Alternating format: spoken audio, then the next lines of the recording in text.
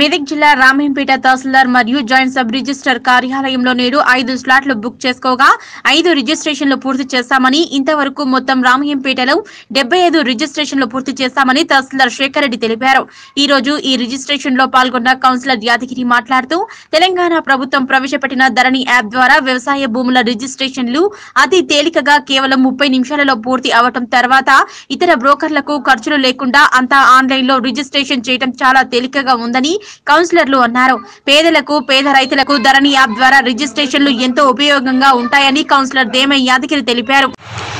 రాష్ట్ర ప్రభుత్వం ప్రతిష్టాత్మకంగా ప్రవేశపెట్టిన ఈ ధరణి ప్రాజెక్టు నవంబర్ సెకండ్ నుంచి ఈ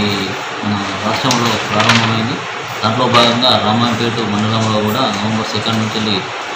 స్టార్ట్ చేసాము ఇప్పటివరకు దాదాపు ఒక ట్వంటీ డేస్ నుంచి ఇప్పటి వరకు ఒక డెబ్బై ఐదు డాక్యుమెంట్స్ పూర్తి విజయవంతంగా పూర్తి చేసాము స్టార్ట్ బుక్ చేసిన ప్రతి వ్యక్తి ఇక్కడికి వచ్చిన తర్వాత వితిన్ హాఫ్ అన్ అవర్లో వాళ్ళకి సంబంధించిన డాక్యుమెంట్ ప్లస్ పీపీబీ కూడా ప్రింటింగ్ ఇచ్చేసి వాళ్ళకి ఇవ్వడం జరుగుతున్నది ఎవరైనా రామంపేట్ మండలంలో ఉన్నటువంటి పట్టదారులు కానీ లేకపోతే చనిపోయిన వ్యక్తులు ఎవరైనా కొత్త బుక్కకి చనిపోయిన వ్యక్తులు ఎవరైనా ఉన్న ఉన్న- ఉన్నట్లయితే వాళ్ళందరూ కూడా ఇట్టి అవకాశాన్ని స్లాట్ రూపంలో స్లాట్ బుక్ చేసుకొని వినియోగించుకోవాలని కోరుతున్నాను. అట్లాగే ఎవరైనా డాక్యుమెంట్ పాత డాక్యుమెంట్స్ ఎవరైనా ఉండి దాన్ని రెవెన్యూ రికార్డులో ముద్ర చేయనట్లయితే అట్లాంటి డాక్యుమెంట్లను కూడా ఇంప్లిమెంట్ చేసుకునే అవకాశం ఇప్పుడు ధర్నీ పోర్టల్ ద్వారా ప్రభుత్వం కల్పించింది కాబట్టి దాన్ని కూడా స్టార్ట్ చేసుకొని బుక్ చేసుకొని మీకు సంబంధించిన రెవెన్యూ రికార్డుకు సంబంధించిన అన్ని వివరాలు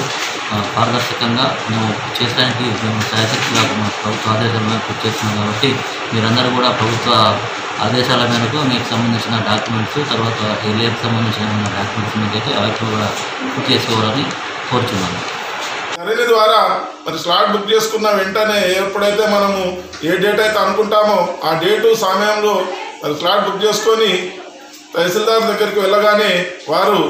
ధర్నీలో ఎంట్రీ చేసి ఇమీడియట్గా అంటే ఎవరికి కూడా ఒక నయా పైసా ఇవ్వకుండా రైతులకు ఒక చక్కటి మరి ఎంత మంచి పథకం అంటే ఎవరికి కూడా ఒక పైసా కూడా చెందడం ఇందులో మధ్య దళారీ వ్యవస్థ అన్నది లేదు. మరి డాక్యుమెంట్ రైటర్ లేరు. మనం ఆన్లైన్లోనే